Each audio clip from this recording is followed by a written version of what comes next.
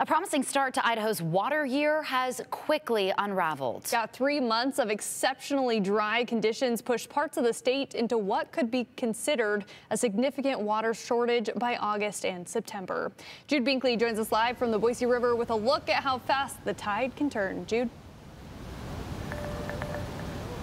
Yeah, Hunter Morgan, back in April, water managers were feeling confident about the state's water supply, but as we've learned in Idaho, when it comes to water, things can change fast. Dry conditions have completely rewritten the forecast, and now some farmers and water users could be facing tough decisions by late summer.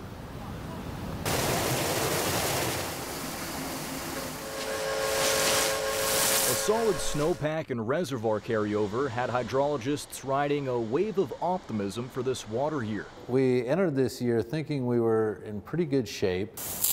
But Mother Nature had other plans, with the past three months drying up that hope and much of the state now facing drought conditions. This is the fifth driest April through June period in the record going back to 1895. State hydrologist David Hoekema says the state had only 56% of normal precipitation from April through June, leaving much of the state high and dry. It's a pretty dramatic turn, but we're not coming out of one drought year into the next. So we had pretty decent reservoir carryover.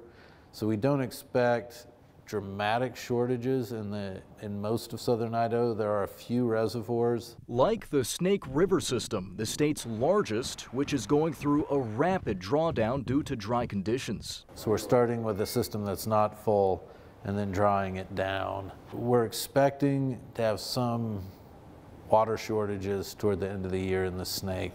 Water officials are now predicting potential shortages in the Snake River system by August or September. I'd really encourage water users who are relying on storage water, stretch that water as far as you can go. The Boise, Payette, and Owyhee reservoir systems are in better shape thanks to stronger carryover from last year, but it's likely they won't have as much water carryover for next year, meaning the region would need an above average season. Now, Morgan Hunter, a lot of this is ultimately dependent on how much rain we get in the future.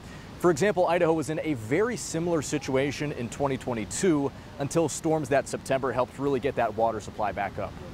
Yeah, I was going to say, measuring the snowpack, everyone said cautiously optimistic, mm -hmm. and this is why. Thank you, Jude.